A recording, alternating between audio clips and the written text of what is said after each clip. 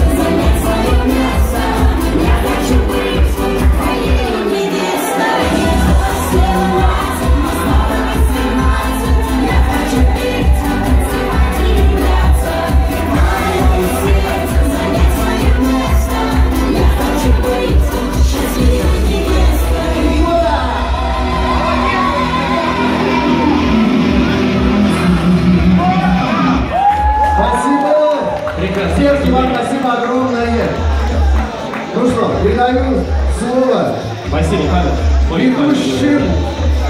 Павел, это у нас уже на очереди.